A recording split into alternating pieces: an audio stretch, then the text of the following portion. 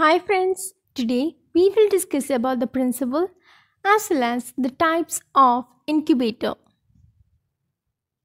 What is an incubator as well as what are the parts of an incubator? I have done a video earlier. Please do watch it before you go for the types as well as the principle of incubator.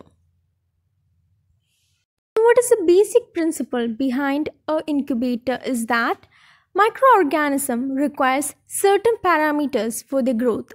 So they require optimal temperature, humidity, oxygen and carbon dioxide levels for their growth. So incubator provides these conditions for the better growth of the microorganisms. So this is the principle of incubator. So in an incubator, the temperature is maintained by a thermostat. That is, with the help of thermostat, we can maintain the temperature. And the value of the temperature, that is, the temperature inside an incubator can be read from outside with the help of a thermometer. So the temperature is maintained by utilizing the heating and the non-heating cycles.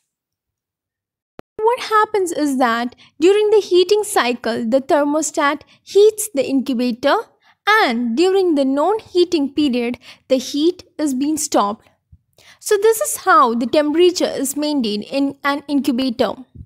And it is cooled by radiating the heat to the surrounding. So this is the mechanism of maintaining the temperature inside an incubator.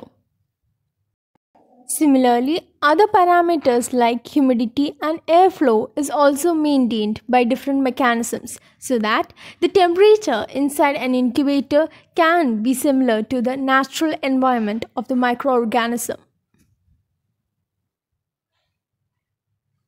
So now let us discuss the types of incubators. The first type of incubator is benchtop incubator. So this incubator is the most common incubator and these incubators have the basic type of incubation that is temperature control and insulation. So this is the most commonly used incubator which is benchtop incubator. So now let us discuss the next type of incubator which is the CO2 incubators. So these are the special kind of incubators which are provided with automatic control for carbon dioxide as well as humidity.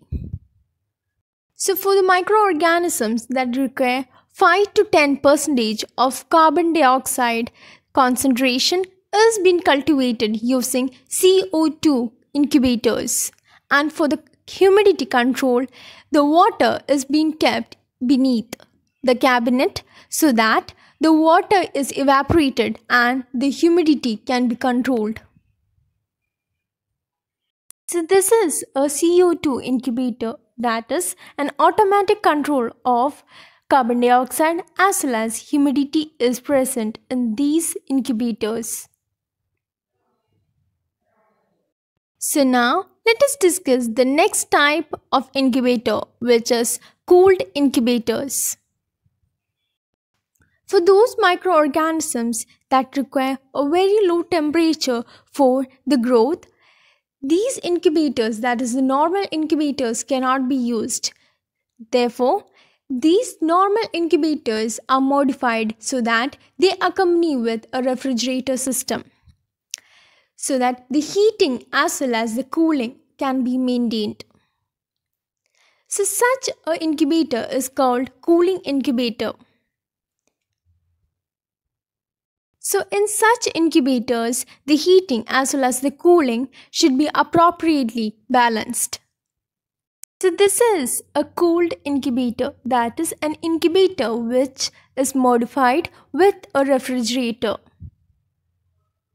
So another type of incubator is a shaker incubator. That is a shaker is also added to an incubator.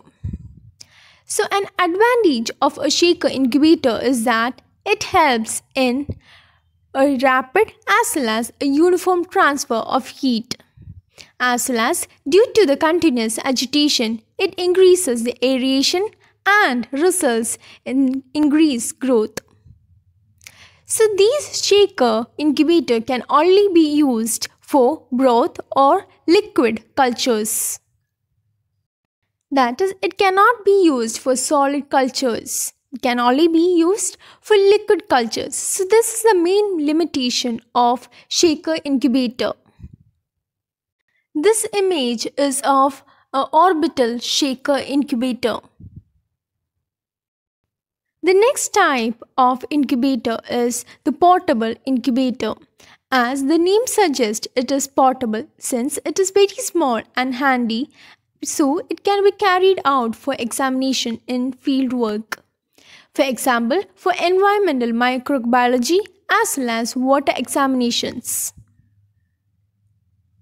This image is of a portable incubator.